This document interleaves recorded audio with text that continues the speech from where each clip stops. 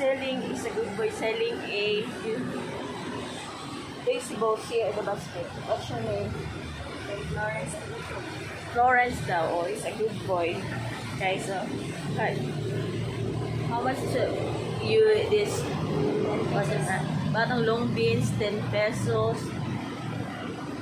In okra, there is, there is ampalaya. Is a good boy.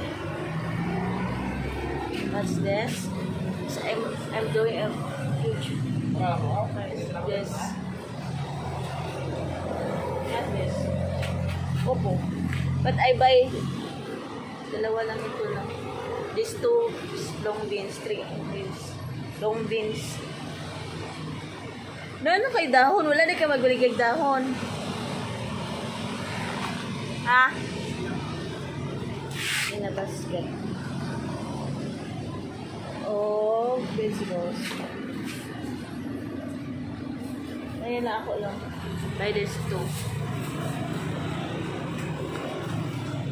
He's a very, very good boy and is today.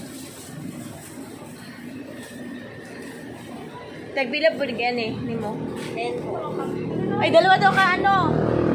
Daniela, Daniela Wait, wait. I pay you.